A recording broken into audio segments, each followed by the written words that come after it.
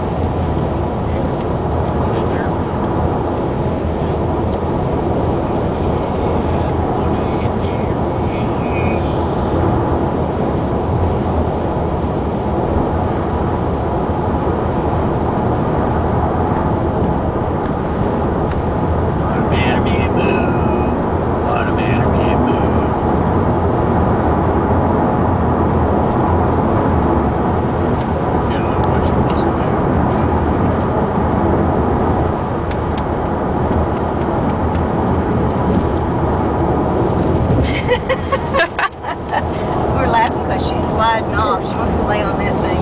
She had her paws gripping the top.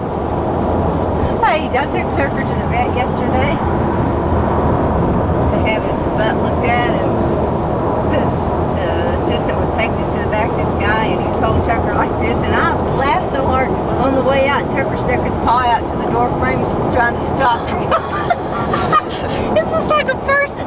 We didn't let me put a stop to this.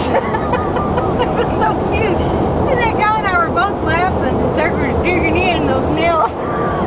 I ain't going. I know what you're going to do to me in the back.